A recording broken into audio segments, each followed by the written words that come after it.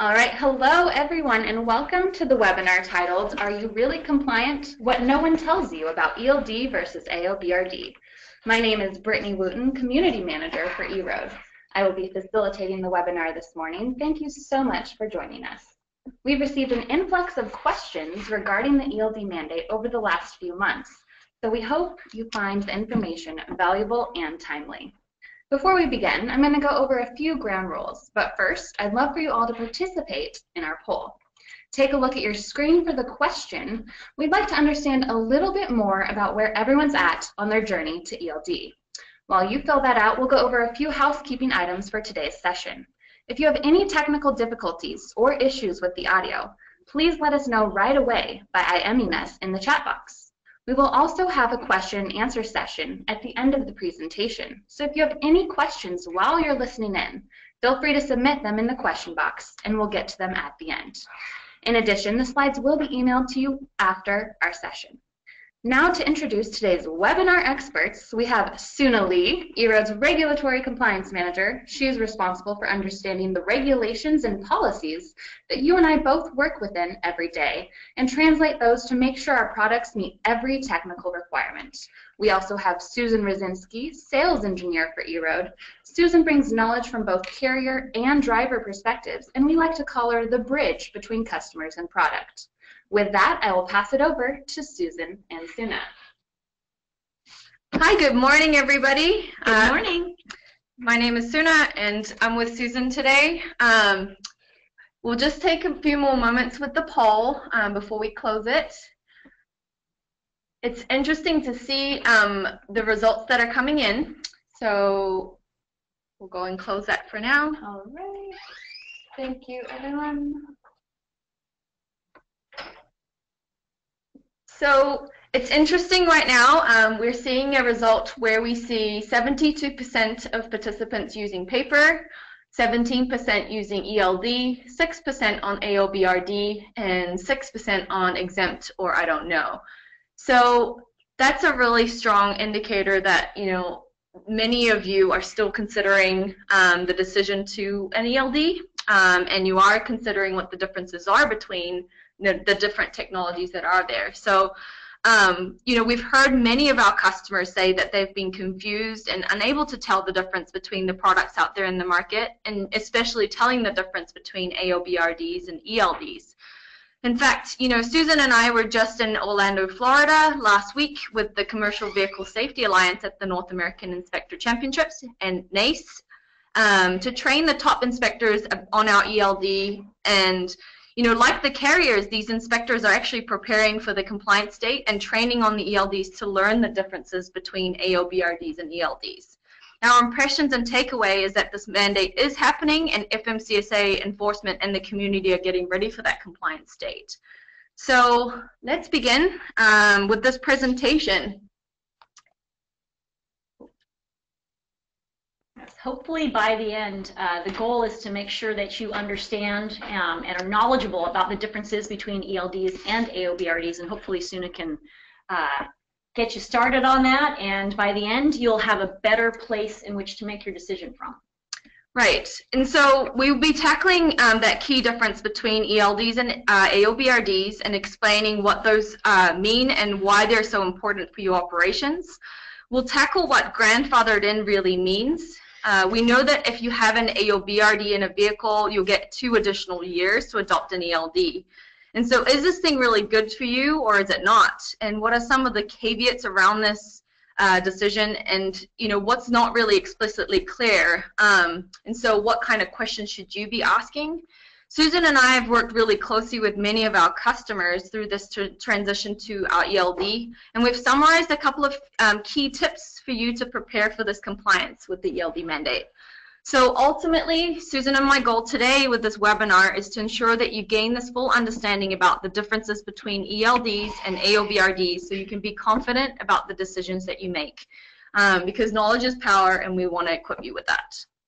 So Without uh, further ado, let's turn to look at some of the differences between ELDs and AOBRDs and why they are so important. So just to give you a brief regulatory overview um, of the differences um, and what arose with the ELD mandate. So with AOBRDs, the regulations were put in place in 1988. It is specified in Title 49 Code of Federal Regulations Part 395 or the section 395.15. It's not a very long uh, provision and it provides a very broad brush of what needs to be captured and presented for the driver and the enforcement. Clearly, there's been a lot of technical advancements uh, between now and, well, from the late 1980s, so it's quite necessary for the regulations to keep up with the times. The ELD final rule, which outlines the mandate for the use of ELDs by interstate drivers, was published in December of 2015. It sets out in very extensive detail the technical and functional requirements for an ELD in the same Title 49 Code of Federal Regulations Part 395, but in a whole new uh, appendix subpart B was added. And uh, ELD must be able to satisfy all the requirements that are outlined in that. So let's go through some of the major areas and compare between the AOBRD and ELD requirements. First off, the roadside inspections. With AOBRDs, roadside inspections had varied processes and outcomes due to the lack of standardization across the devices and limited or minimal information to the enforcement officials. For example, it did not really require a graph grid to be mandatory on AOBRDs, but only required a list of duty status changes. The ELD mandate sought to standardize the recording and ensure consistent method for the roadside inspections. Firstly, the ELD must have the capability to transfer the ELD data output files via either of these two options. One is the telematics option, which means it needs to transfer via the web services and email. And two, it's the local transfer options, which means USB or Bluetooth. As an ELD provider, they must choose one of these two transfer methods, whereas a state enforcement agency will choose one method from the telematics option and one from the local option. So all systems must have a fallback option as well in case this tra data transfer process does not work. And as backup options, an ELD must be able to present the driver's log information by either a display or a printout um, that's away from the vehicle. So let me quote a provision here, uh, specifically outlined in section 4.8.1.2b. It states that an ELD must be designed so that its display may be reasonably viewed by an authorized safety official without entering the commercial motor vehicle. For example, the display may be untethered from its mount or connected in a manner that would allow it to be passed outside the vehicle for a reasonable distance. So what does this really mean? In order to meet these requirements, an AOBRD will most certainly require a software update, but it may also require a hardware upgrade, which includes different cable connections or any work to be done in conjunction with a printer um, so that the hardware, it, it, may need to be replaced if it does not have those options available right now. So Soona, can you kind of give the audience a, a little definition? What's, what's the difference between software and hardware? Yeah, um, I'll go into it more detail the, in uh, another section in this presentation. But a hardware upgrade, it means, you know, there is a difference in the hardware. So a different connector is required or there needs to be um, some sort of a different uh, interface that needs to be there um, and it needs to be either swapped out or replaced. Whereas a software upgrade, it may mean it's an over-the-air or a USB type of upgrade to the software. Um, it may mean a different interface for the driver and the enforcement official. So we'll go into that in more detail in the presentation. But the key point here with this section is that you know the difference between AOBRD and ELD is that the standardized process requires some attention to understand what that device is capable of doing. So, okay, moving to the next section here. In terms of malfunctions in data diagnostics, the, there's a rationale behind ELDs, um, which was to reduce falsifications around driving time and ensure more accurate hours of service information to be captured. So this integrity of the data from the ELD depends actually on the capability of the device to be able to monitor and diagnose any malfunctions and tampering events. Where a device is tampered with, such as when the power is removed or the location's not able to be retrieved because the device is um, not covered up or it's not in a place where GPS can be retrieved, or the connection to the engine is disconnected or jammed, um, these types of uh, issues um, can affect the data and uh, cause the integrity of that data to be um, uh, uh looked at in more detail. So the AOBRDs were required to be tamper-proof and have the ability to identify these sensors, but it was left to the AOBRD provider to determine how these were to be captured. However, in terms of the ELDs, um, all of the different malfunctions and data diagnostics events are extensively outlined. And how an ELD monitors and detects and records that is specifically determined out and outlined in this uh, subpart B. So it's important to understand this as a carrier because under the ELD mandate in section 395.34, it places that responsibility on the carrier to fix and resolve these malfunctions within eight days. So given this short time frame, it's important to ensure that the drivers and your support staff really understand and how to identify and resolve any of these malfunctions that can arise with an ELD. Location is another area where there's major differences between AOBRDs and ELDs. The frequency, which means how often the location is captured, and the accuracy or the provision, which means how close it is to the actual location, are specified clearly for an ELD, whereas it wasn't so much for the AOBRDs. ELDs can protect the driver's privacy a lot more with uh, in compared to the AOBRD. Specifically, when the driver is operating under com personal conveyance, such as when they're driving their tractor home, the ELD must only capture the location at the beginning and at the end with reduced precision, which is to a 10 mile radius rather than a 1 mile radius if the driver was driving in driving status. Further, the way that the location information is displayed on an ELD for roadside inspection is it shows a, the distance and the direction to a nearby city, town, village of a state with population size of more than 5,000. This means that if the driver is driving through remote areas, when the then the location will show a geo-conversion that may be to a faraway city or town. This is quite different to what is shown on an AOBRD. So it's important for you to um, operationally um, look at if you are using the location information for other things such as IFTA, IRP, or for weight distance taxes, um, that the frequency and the accuracy of the location recordings may be different um, for those purposes. So, you know, for example, state line crossings, the types of roads that you're traveling on may be required to be able to calculate accurately the taxable and non-taxable miles and by jurisdictions which are required at a minimum, but these may not be provided under an ELD. So Susan, have you heard any of these types of things coming up from carriers um, as to what they use the location for and how these differences can um, be challenging operationally? They are challenging because on a paper log, the drivers are just used to, you know, the, the nearest city and state. Uh, you know, they're used to just writing down that in the remarks section, the location. And so the locations that the ELD is picking up for the mandate, you know, um, they might be in Portland, but it might be picking, or near Portland, but it might be picking up, you know, the closest location, which would be another city, because it's super, super accurate.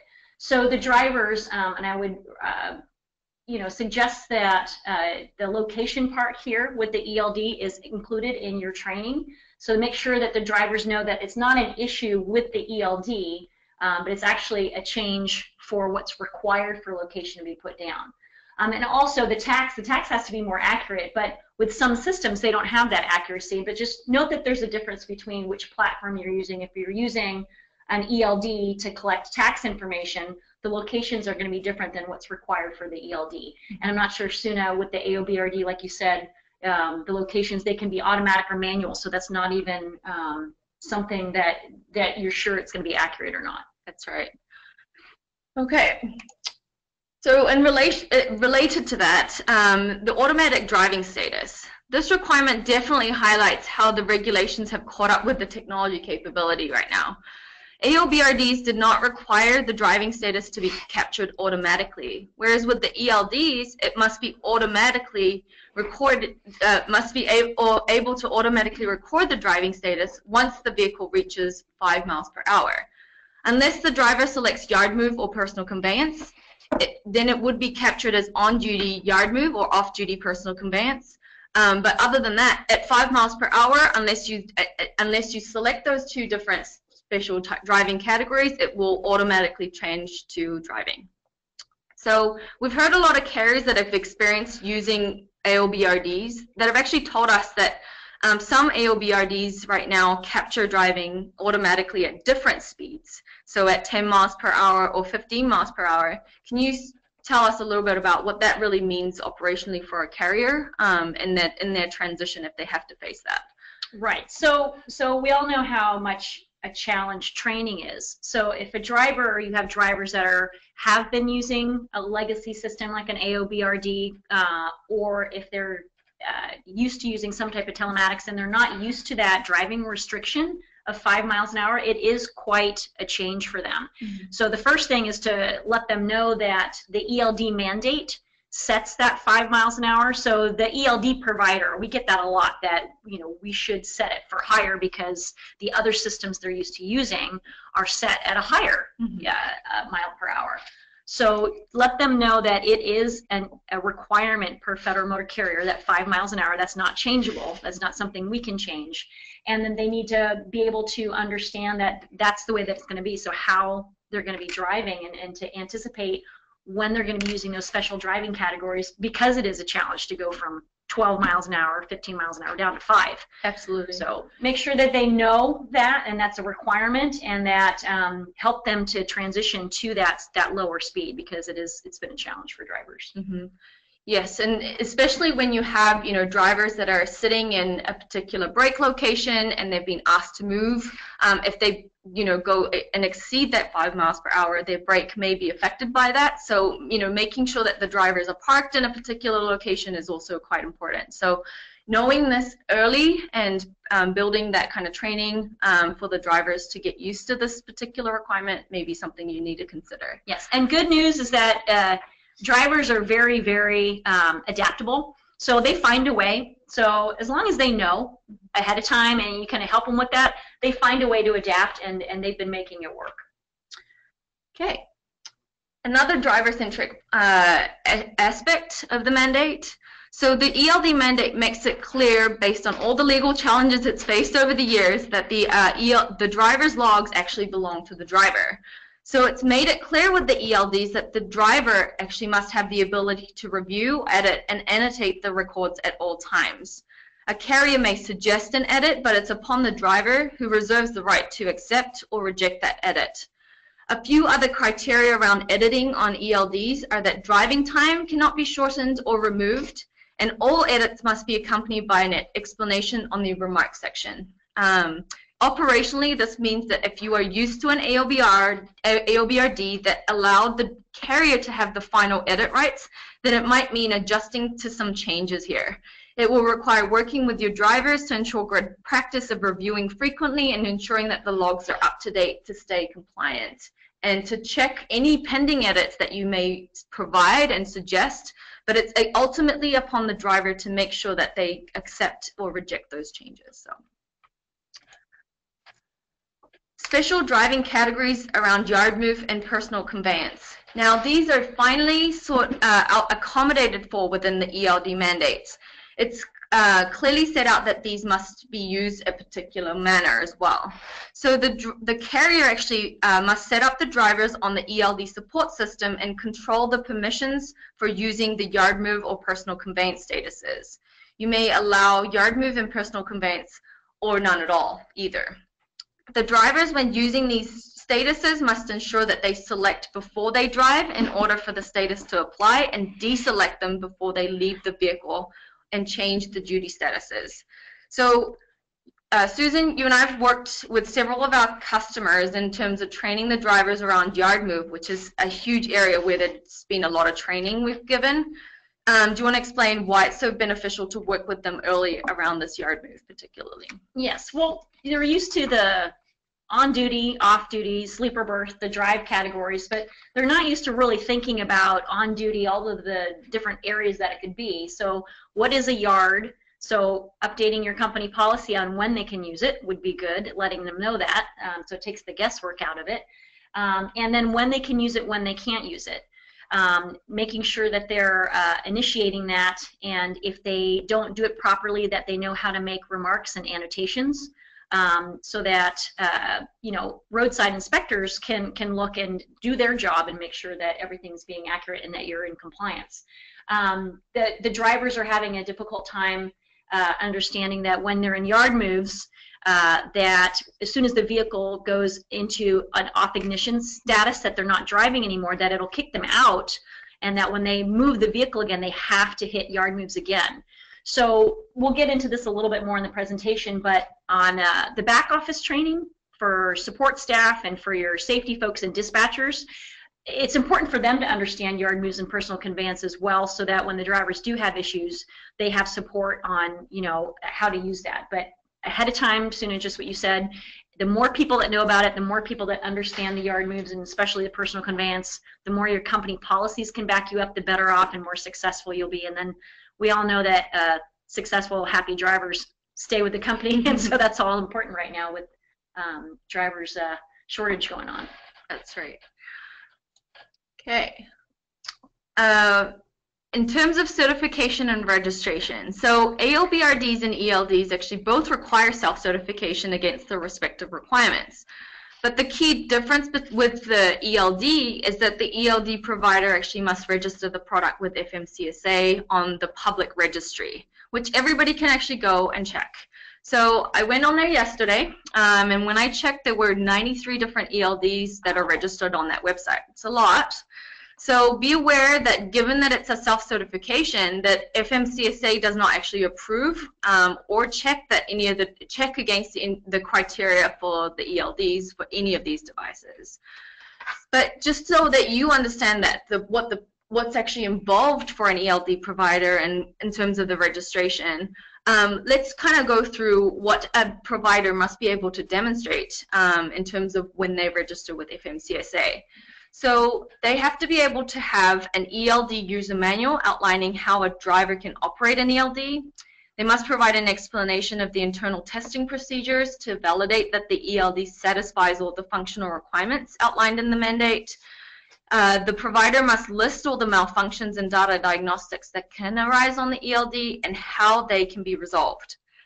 There must also be an instructional guidance document that outlines the step-by-step -step process for the roadside inspection as well.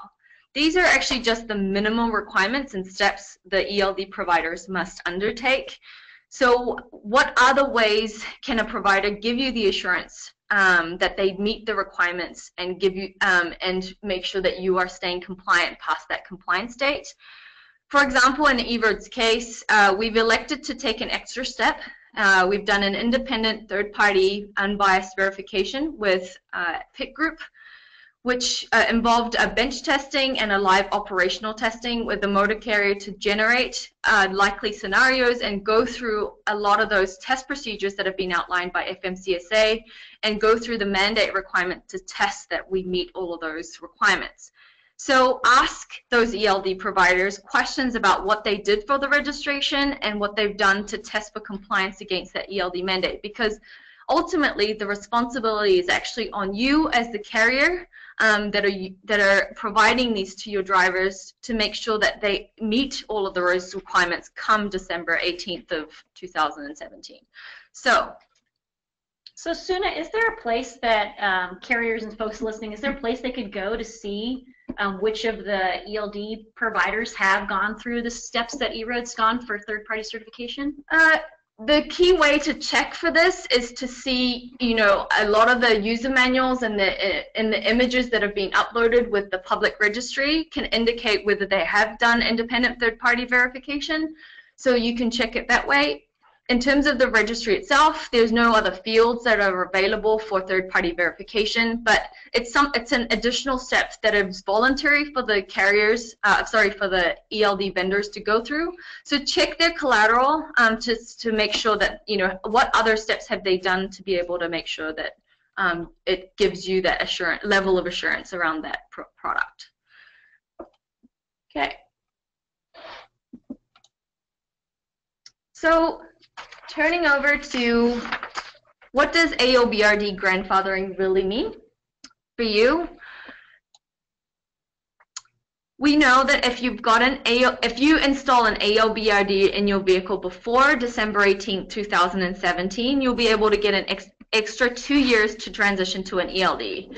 This means um, you will have an till the December 16th of 2019 to change over from an AOBRD to ELDs. But really, FMCSA meant for this provision to be a way to give extra time for the carriers to carefully plan and transition to the ELDs. They appreciated that it takes a lot of time and effort.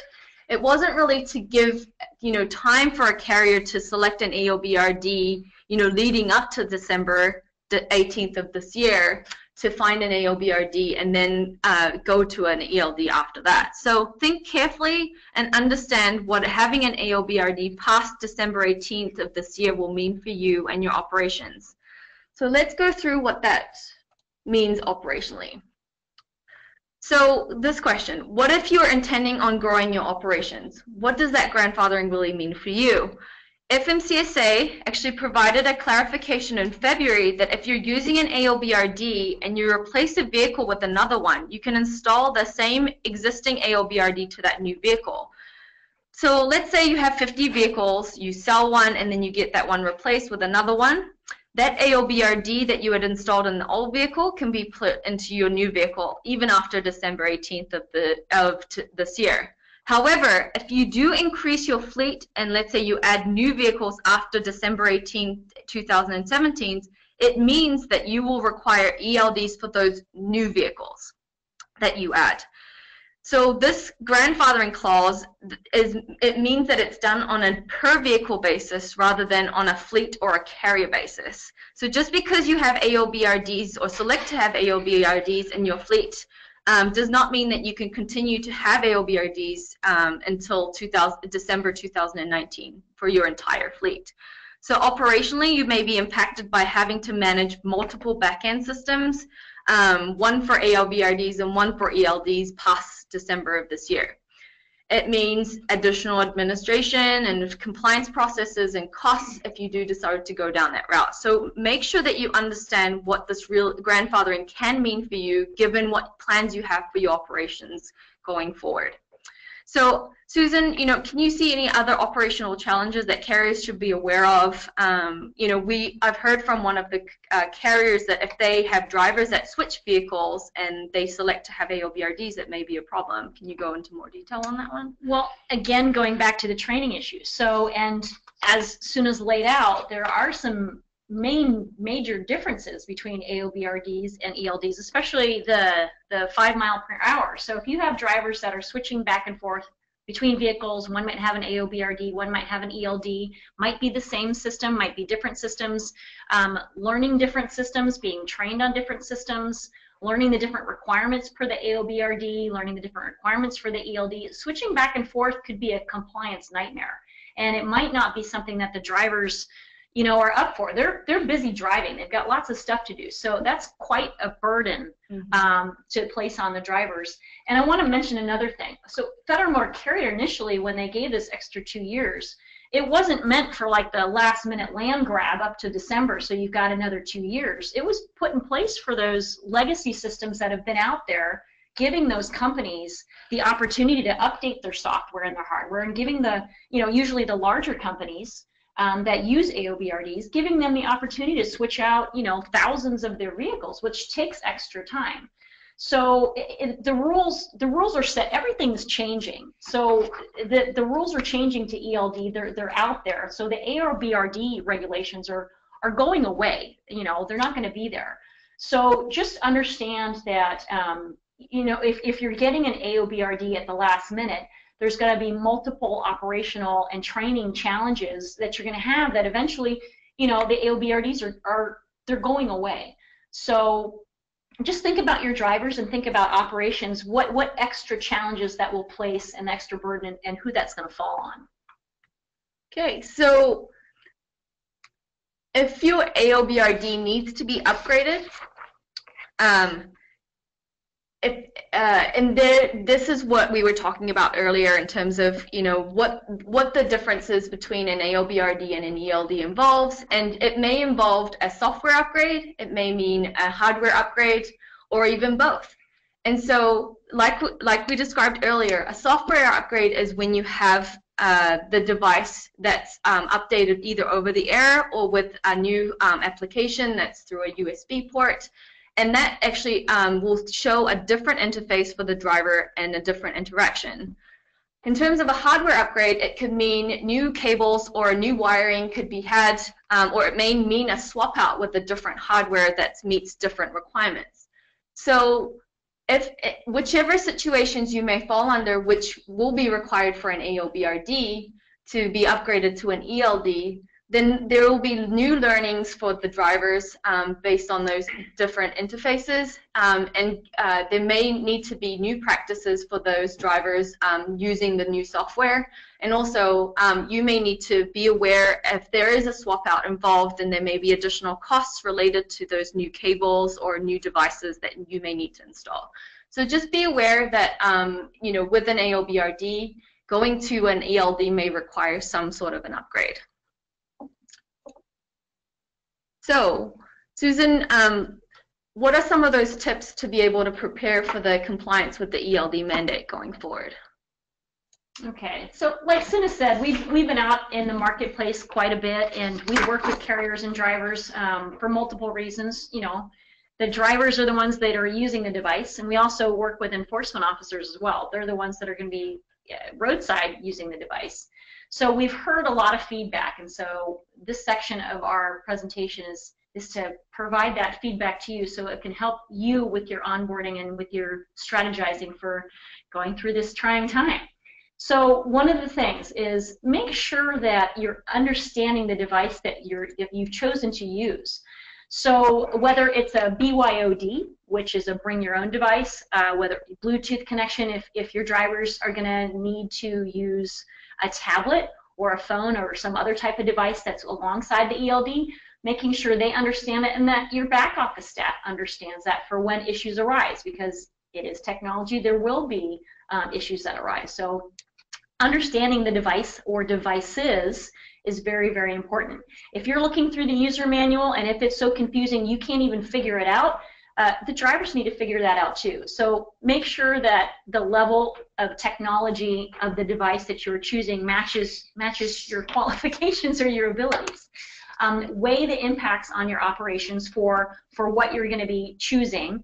Um, if you need the dispatching, if you need uh, routing, if you need all of those different types of things, great. Look for a more challenging uh, technology. But if you need something simple, or if you want something simple, you don't have to get something that you know can has multiple buttons and multiple different things. So understanding the device, weighing those impacts, understanding your operations. Actually, sooner are finding out that um, a lot of the companies that haven't used technology before, mm-hmm. they're having to really look at their operations, you know, mm-hmm. how their drivers are paid, you know, what they're doing because, you know, the update in technology means an update kind of to maybe some of your operational procedures as well. Mm-hmm. Um, timing, so get a plan.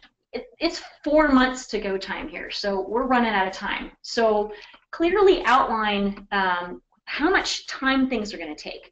Uh, your um, installations, you know, the time that the trucks are going to be off the road, where they are. So phases of implementation. Do we want to do all of this at once? Do we want to train the drivers all at once? Do we want to install at once? Do we want to have, you know, time in between? And what that's going to look like who's going to do it? This is very important. You know, getting everything uh, delivered and then trying to figure out last minute who's going to do what and when. You know, it's it's the middle of August right now. The holidays are coming up, so that's you know Thanksgiving time and and all of that that goes on. So when you're going to be open and when that's going to get done, and so setting up a plan pre you get the devices during installs and all that, and then afterwards is very, very important to, to get that all figured out. Write it down, have a couple meetings, and then uh, have a go at it. But just kind of, if you're planning on it all just falling into place, we haven't seen that as a successful strategy at this point. So number two, so take it for a test drive. Now, like we just said with time, it is August. So the try before you buy doing a pilot, you, you've kind of missed the boat with the 60 to 90 day pilot trial period phases. There's already a lot of companies out there that are backlogged to November. So if you are going to pilot at this time, which I suggest it's a great idea, you're going to be a, to a two-week, 30-day period now so that you have the time for installs, training, implementation, all that. So try before you buy it, that's great, but get a move on that now if you're wanting to do that. And the time that you're going to have for that is going to be shorter than it was because it is so short and close time period to December here. Um, not all ELDs are the same. Like we said before, some of them can, you know, do all different types of things, and some of them are just very basic. They're just calculating and collecting that information for your hours of service. So make sure you understand your operations. Make sure you understand what you need and make sure that you understand that there's different costs associated with just a simple uh, all in-cab device like EROAD's, or if you're going to do a BYOD plug and play that requires data plans and other things. So there's a cost involved with different types of ELDs that are just, it, it's not a basic, this is the cost and this is the monthly fee. If there are other components needed for the ELD to be a compliant ELD, sometimes there's a cost associated with that. So make sure you understand that. So all of these things we've gone over. Ease of use, best way to test that is put it on your drivers. Have, have a driver use it for a couple days and see, see what they think. Look at the accuracy of the records, so you're going to want to make sure you have some time period to review your paper logs alongside the, uh, the new ELD that you're using to make sure of the accuracy, the reliability of the system. You want to make sure that you know the locations that you're going, it's going to be able to pick up those locations properly, and it's going to work. Um, some systems that we've heard out there have a 40% fail rate. So that's kind of that's kind of high. So make sure that you're that you're checking on the reliability of the units as well, and then make sure that it's meeting your operations. Again, if it can do a bunch of things that you're not doing, it's not going to be very helpful for you. Um, but if it does, that might be something that can help you uh, get a good ROI out of your unit. So number three here, our favorite thing, updating those company policies. So with an ELD, with electronic logs, uh, it's not the same as a paper log. So updating your hours of service and, and logging policies, it's time. Um, training requirements. Uh, as we know, we love getting audited, and the auditors love to see, you know, who's been trained, how many times they've been trained, you know, looking at your training record.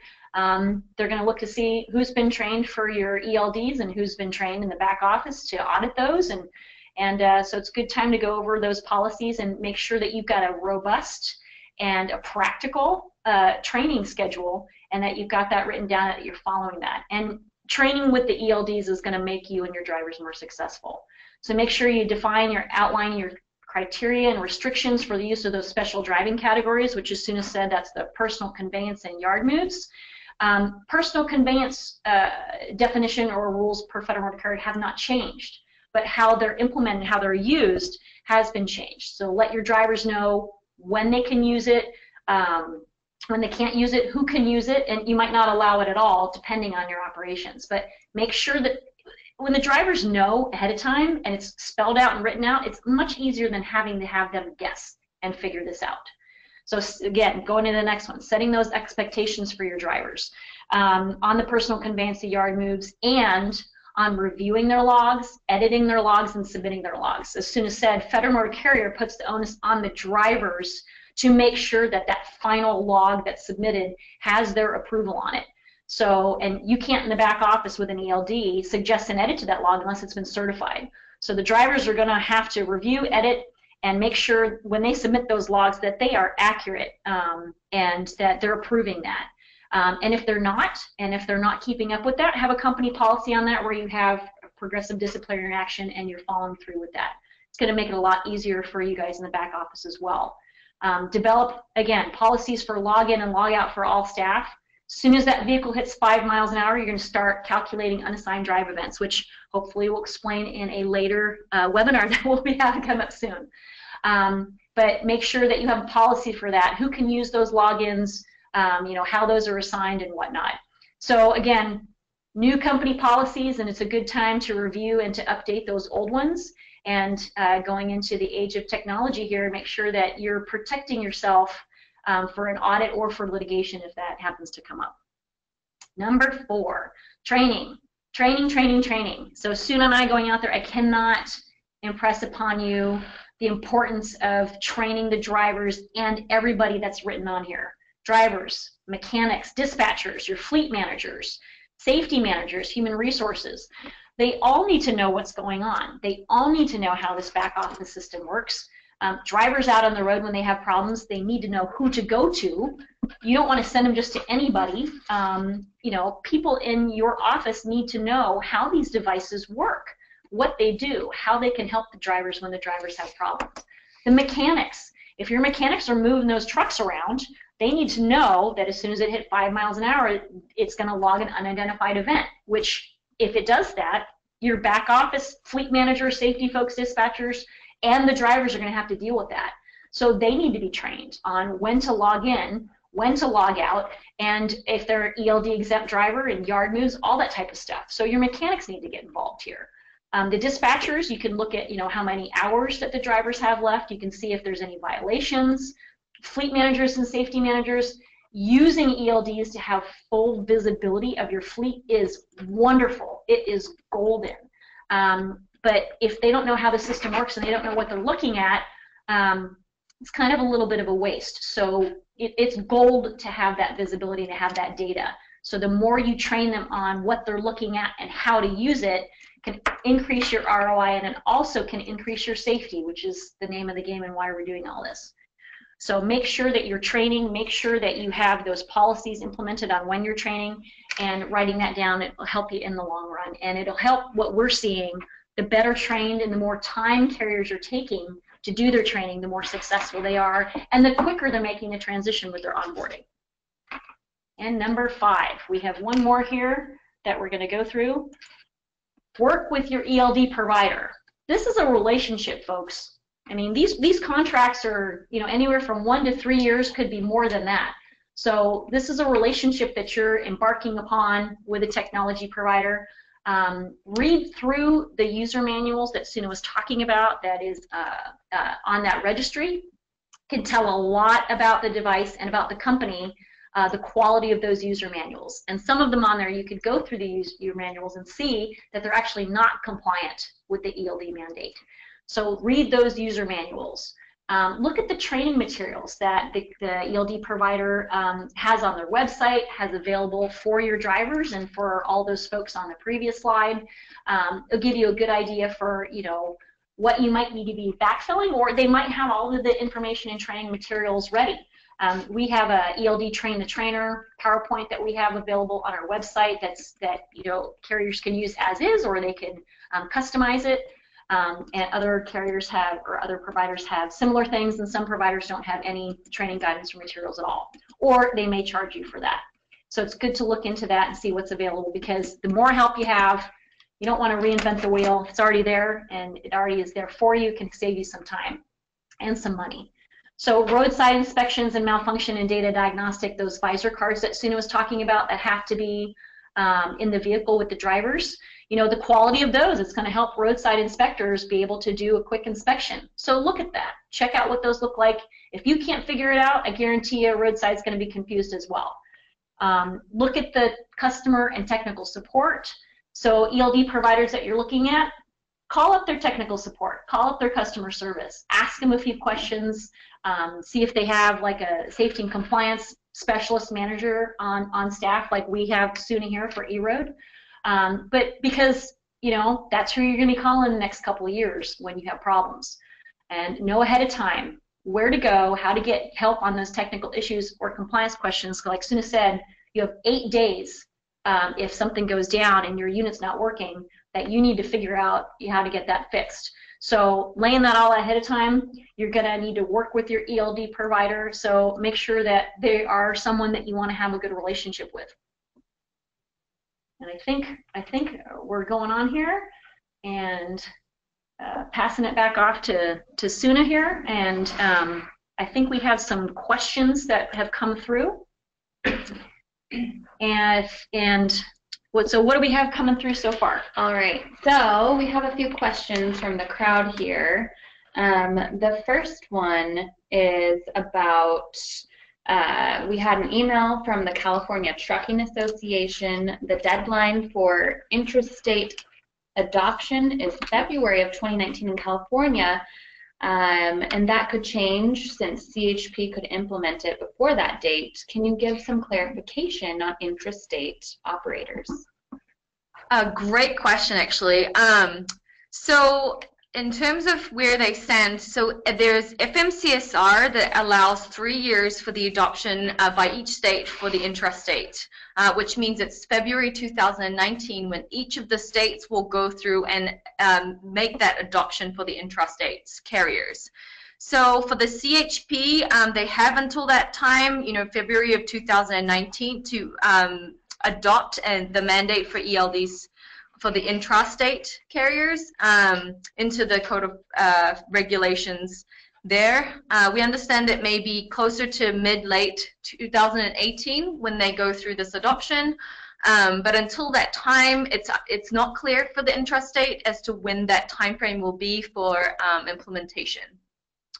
You know, um, looking at each of the inter intrastate carriers, um, in each of the states, if you are an intrastate carrier, um, it's upon the states to go through the adoption individually. They could be uh, one of these options. They could be an auto-adopt state, which means they take the federal mandate as is, or they may choose to go through a legislative process and have a separate adoption, um, and they may amend or change any of those dates or it may be that you know they uh, take it, but then they amend a lot of it um, through the you know their own uh, regulatory process. So um, what we would suggest is if, if you are an intrastate carrier, then please check in with each of your state DOTs to find out where they are in that process and what the date will be for your the adoption. Great. Uh, and we have another question. Does an ELD have to be hardware, hardwired to the engine? Does an OBD2 port in a vehicle count as being hardwired to the engine? Great question there too. Um, in terms of the ELD, the mandate requires that it has to be connected to the ECM. Now, it could, it's likely to be hardwired through a device. Now, that device could be the so single device that you use, which is the case for EROAD, where it's the single device that connects to the ECM, or you could have a device that connects through to the in, to the ECM, which is then Bluetooth connected with your, let's say, tablet or a mobile phone, which is what Susan described as the BYOD model. So it depends on how the architecture for the ELD provider has set with. Um, they could have it in different models with the different devices. But just be aware that, you know, if it is um, going through multiple devices, you know, and using Bluetooth as the primary connection between those, um, uh, the device that connects to the engine versus the device that the driver interacts with, that um, that connection is strong enough to withstand, you know, the different situations the driver may face, like the roadside inspection, or as they are driving, that the connection doesn't drop off. So those things need to be um, things that you consider when you are um, making that decision for an ELD. And we have another question here. Uh, how can I find out if my existing AOBRD can be upgraded to an ELD? Good question. Uh, in terms of the AOBRDs, um, our recommendation is make sure that you check that FMCSA registry, which is publicly available to you. Um, we provided that link on our presentation. When you do go on there, um, you need to make sure not only is that provider on the registry, but the particular device that you are using needs to be the one that is on the registry as well. If not, then that, that particular device, which is the AOBRD, is not going to be an ELD for you going past that compliance date. So um, it prompts a question for that ELD vendor that you're using or the AOBRD vendor that you're using, whether they that particular device you're using right now um, will become an ELD and be a, appearing on that registry. So, and make sure you, you, you just reach out to, if you're not sure, reach out to your current AOBRD provider, ask them, you know, when or if there's going to be a hardware or firmware change out required, and if there's a cost associated with that, they should be able to help you with that. All right, and I had another question here. Is your ELD an in-cab solution or a bring your own device? Uh, Yes, so EL, uh, EROAD's is an in-cab device. It connects to the hardwire. Uh, it's hardwired and connected to the engine, but it's also that single device that the driver interacts with. So we've chosen to go with the tethered solution. It keeps the driver connected at all times and ensures that it's not um, going to drop off that connection. Great. And if I'm using an AOBRD into next year and I add trucks, is it possible for all of my drivers to all be on one system? In other words, do the ELDs talk to the AOBRD systems? Interesting question. So um, it's again um, something that you need to talk to the AOBRD provider about in terms of whether it is the uh, whether it will be compatible with the ELD solution that um, your drivers will also be using.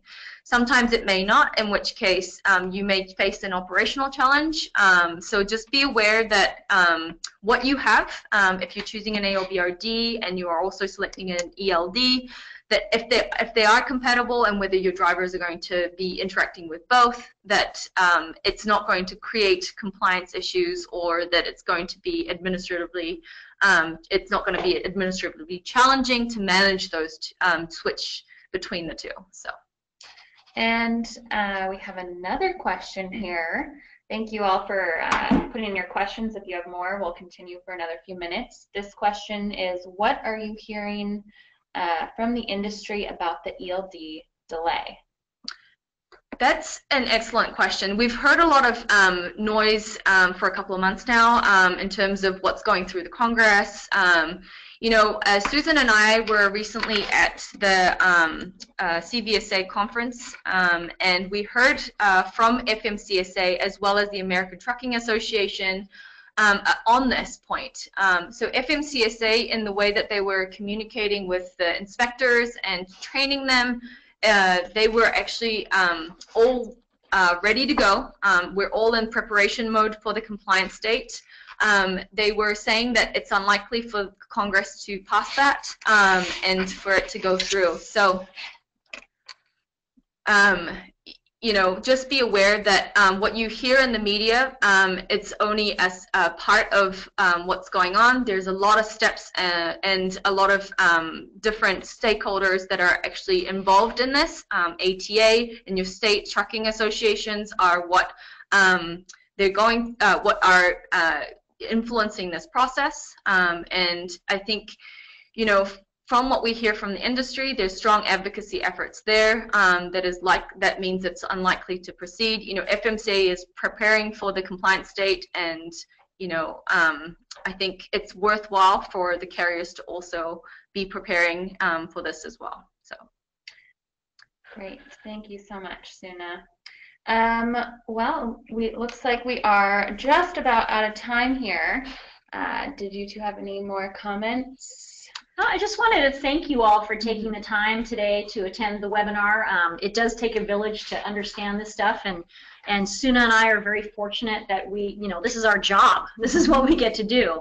Um, but going out there, we're finding there's there's multiple different levels of understanding of the mandate right now. So please, our, our contact information will be on the next slide here. Reach out to us.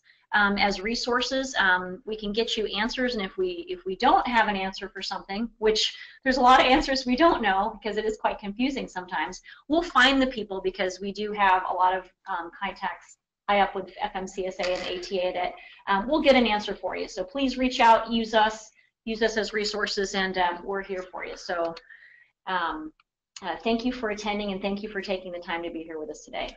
Yes, thank you all for your questions. If we didn't get to yours during the session, we will follow up with you personally. Again, as a reminder, we will send an email with the slides and the recording. We will also be including an EROAD red paper that covers this topic, so you can share it with colleagues who may also want additional information. Uh, big thank you to our presenters, Susan and Soona, for their valuable information on ELD versus AOBRD. Here at EROAD, we believe in educating our customers. We are highly active in the industry and attend numerous events across the country each year. Please check our website, eroad.com, for events that we may be attending near you. We love getting involved in both local and national events to make sure that we're getting information at all levels so that we can bring that intel back to both our product team and our customers. We're continually using that knowledge to improve our product to better meet our customers' needs. EROAD offers a complete suite of user-friendly fleet management, compliance, and driver safety solutions, including our FMCSA registered and third-party verified ELD. Our all-in-one solution provides electronic tax, fuel, and fleet utilization reporting, as well as vehicle maintenance and driver safety tools. Uh, if you'd like a demo, please contact the number on our screen or email us personally with any questions that you may have. Uh, thank you again to all that attended and have a great day. Thank you. Thank you.